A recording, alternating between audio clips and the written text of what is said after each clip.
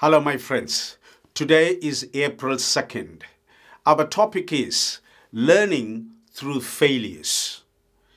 Our devotion comes to us from Revelation chapter 2, verse 7.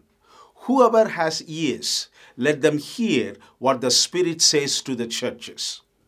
To the one who is victorious, I will give the right to eat from the tree of life, which is in the paradise of God.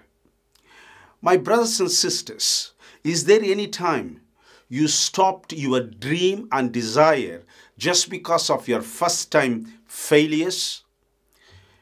Are you upset and frustrated because even if you tried, you were not successful and feel now you are not worthy to move forward in your life? Or are you planning to achieve something in your life, but fear and worries, even anxieties, always try to stop and discourage you? My friends, many people in this world stop their achievement at the very first failure or try itself. Success is not very easy. Joy cannot be sold or bought. In the book of Revelation, God challenges people to overcome though they pass through failures. Today, are you really fed up and frustrated because of your failures? Are you really disappointed because though you tried to get that relationship back, are you failed? Here are the three motivational suggestions for you to see your failures outside of the box. Number one, you are not failed.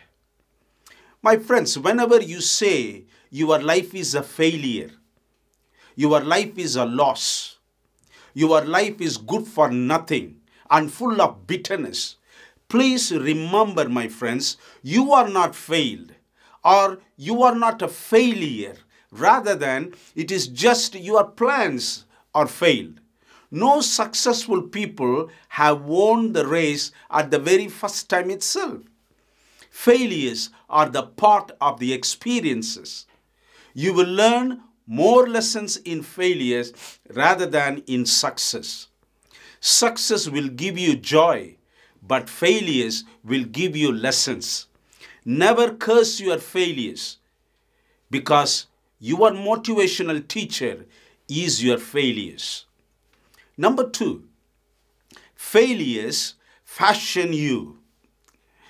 My brethren, although success is your ultimate destiny, yet you ought to travel through failures. You have to pass through failures. Don't run away from failures because failures will fashion you. Failures will make you to think. Failures will mold you and shape you.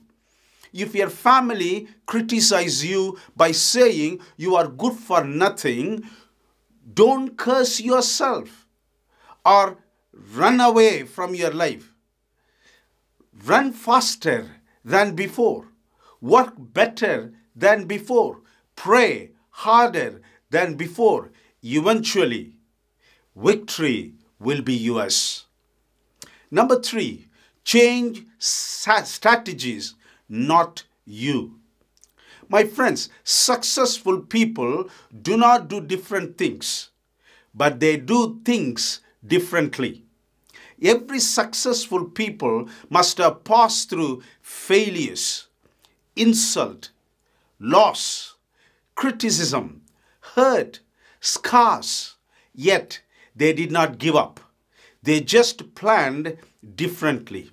So, also, my friends, never give up if someone doesn't love you.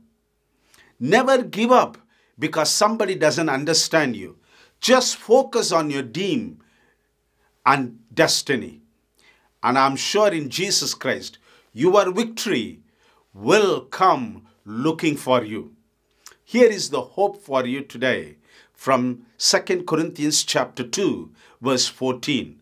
But thanks be to God who in Christ always leads us in triumphal procession, and through us spreads the fragrance of the knowledge of Him everywhere.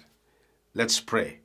Heavenly God, there are many times we give up our life because of failures. Thank you so much for leading us through victory always because of Jesus Christ. In Jesus' name we pray. Amen. God bless you.